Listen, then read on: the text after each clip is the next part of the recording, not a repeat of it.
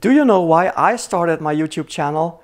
Because I read an article in one of our scientific journals, I think it was European Urology. They had done a study on urological information on YouTube and found out that most of it was wrong and misleading.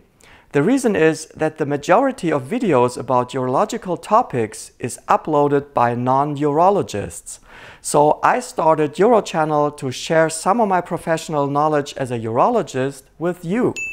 I am saying this because lately the algorithm has been proposing videos to me about what to eat to shrink and enlarge prostate. I watched some of them and they really made me mad because everything what is promoted in these videos is complete nonsense. Because the truth is, once your prostate is enlarged, you can eat all the tomatoes, omega-3, broccoli, zinc and vitamins you want. It won't have any effect on the size of your prostate. What is proposed in these videos are preventive strategies. When the damage is done, the time for prevention is over. This is because benign prostatic enlargement is not some kind of swelling, but real growth. In other words, multiplication of cells. We call this hyperplasia. Eating a bunch of vitamins doesn't kill these cells, so the size of the prostate remains unaffected whether you eat berries or drink green tea. That strategy is like buckling up after your car has crashed. There is indeed scientific evidence that links benign prostatic hyperplasia to obesity and a Western sedentary lifestyle.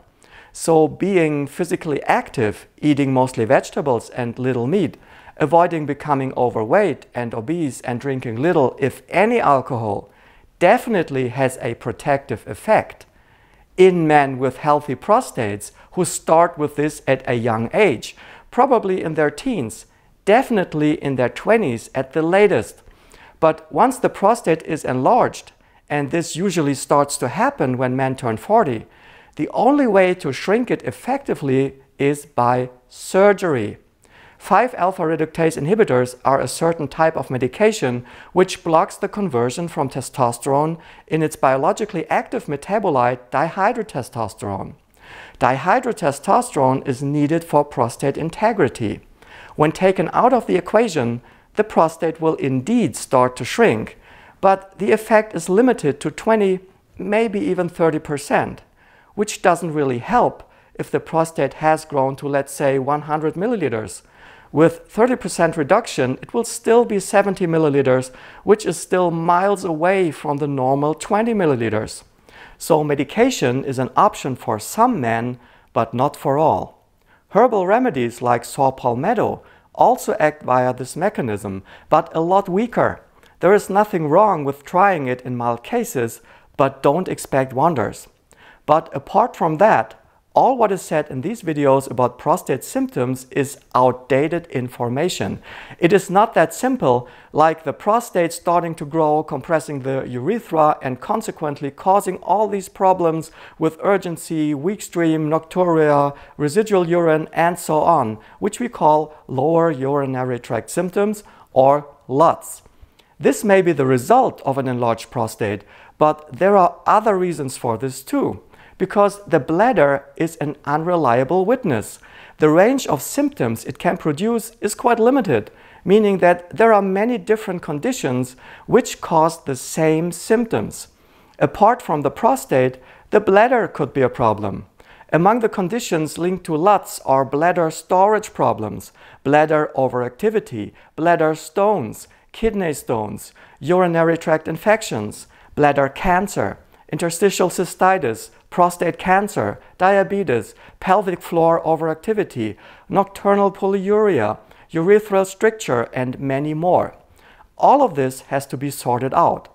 From my daily work, I experience time and again that there is hardly any correlation between prostate size and possible symptoms of the lower urinary tract. Just one thing about prostate size.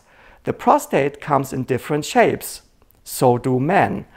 I don't trust my finger to assess prostate size correctly because of that. It has to be measured by transrectal ultrasound for reliable results because I have seen a lot of patients who believe they had enlarged prostates because they were assessed by palpation only. Ultrasound measurements revealed no enlargement because, and this is important now, we still haven't figured out exactly why prostates start to enlarge. And some men will not experience prostatic enlargement.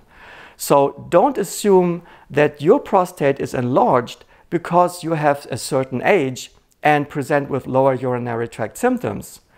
Don't go shopping for vitamins, but see a urologist instead and let it be sorted out because your problem may have a totally different cause. And please use some common sense. The medical profession would have been extinct a long time ago if health problems were that easily to be solved like some people want to make you believe. Thanks for watching. Bye bye.